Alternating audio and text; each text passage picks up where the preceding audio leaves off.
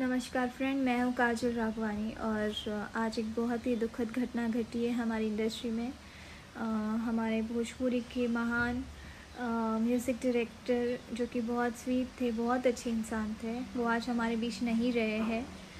और धनंजय मिश्रा जी आप जहाँ कहीं भी हो आपकी आत्मा को शांति मिले बस यही कामना करती हूँ। और बहुत बहुत वर्क करना था आपके साथ, बहुत इच्छा थी और इस लॉकडाउन के बाद पर वो इच्छा अधूरी रह गई।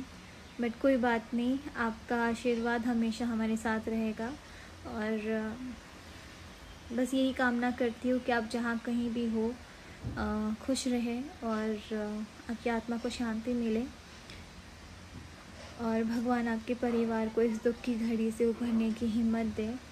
हम उनके साथ हैं।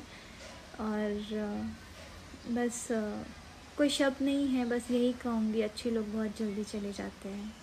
तो फ्रेंड्स आज हम लाइव नहीं आ पाएँगे बिकॉज़ कुछ दिन हम लाइव नहीं आ पाएँगे एक्चुअली क्योंकि हर रोज़ सैड न्यूज़ ही हम सुन रहे हैं तो अब हम खुद ही खुश नहीं रह पा रहे सो so, हम लाइव नहीं आ पाएँगे आज उसके लिए सॉरी और प्लीज़ आप प्रे करिए कि वो जहाँ भी हो अच्छे से उनकी आत्मा को शांति मिले और उनके परिवार को इस दुख की घड़ी से उभरने की हिम्मत मिले।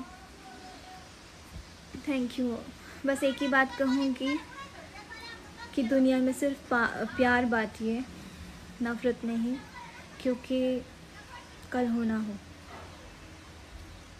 थैंक यू सो मच प्रणाम